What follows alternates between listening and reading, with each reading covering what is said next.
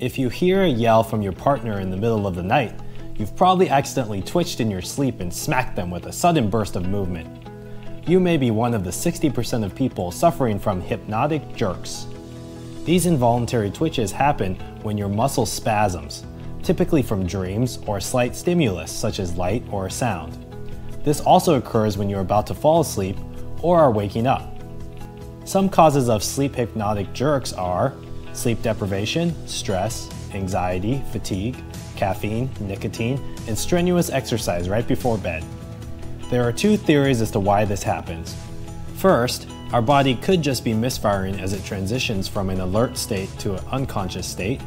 Secondly, it could be in our primal DNA to have a twitch reflex that will suddenly wake us up if there is a slight stimulus, kind of like in the movie Inception.